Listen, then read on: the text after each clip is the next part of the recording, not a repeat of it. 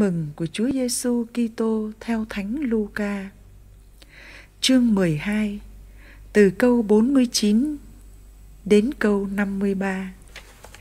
Thầy đã đến ném lửa vào mặt đất và thầy những ước mong phải chi lửa ấy đã bùng lên. Thầy còn một phép rửa phải chịu và lòng thầy khắc khoải biết bao cho đến khi việc này hoàn tất anh em tưởng rằng thầy đến để ban hòa bình cho trái đất sao?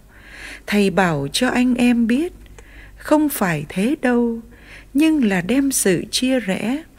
Vì từ nay, năm người trong cùng một nhà sẽ chia rẽ nhau.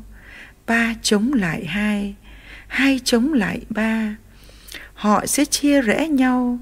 Cha chống lại con trai con trai chống lại cha mẹ chống lại con gái. Con gái chống lại mẹ. Mẹ chồng chống lại nàng dâu. Nàng dâu chống lại mẹ chồng.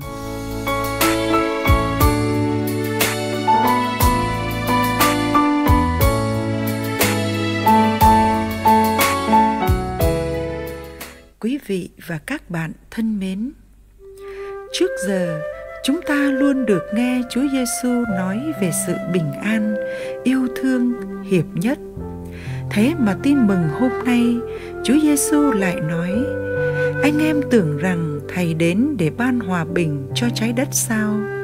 Thầy bảo cho anh em biết, không phải thế đâu, nhưng là đem sự chia rẽ. Vậy, thật sự Chúa Giêsu có mang bình an đến cho con người hay không? Nếu người mang bình an đến cho con người, thì bình an đó như thế nào mà lại gây ra sự chia rẽ mà sự chia rẽ đó lại ngay trong gia đình? Sau khi phục sinh, mỗi lần hiện ra với các môn đệ, việc đầu tiên Chúa Giêsu làm là ban bình an và thần khí cho các môn đệ. Thần khí chính là sự sống của Thiên Chúa khi tạo dựng nên con người. Thiên chúa thổi hơi thở và ban cho con người sự sống của ngài. Như vậy, bình an mà chúa giêsu mang đến cho con người chính là sự sống mới trong thiên chúa.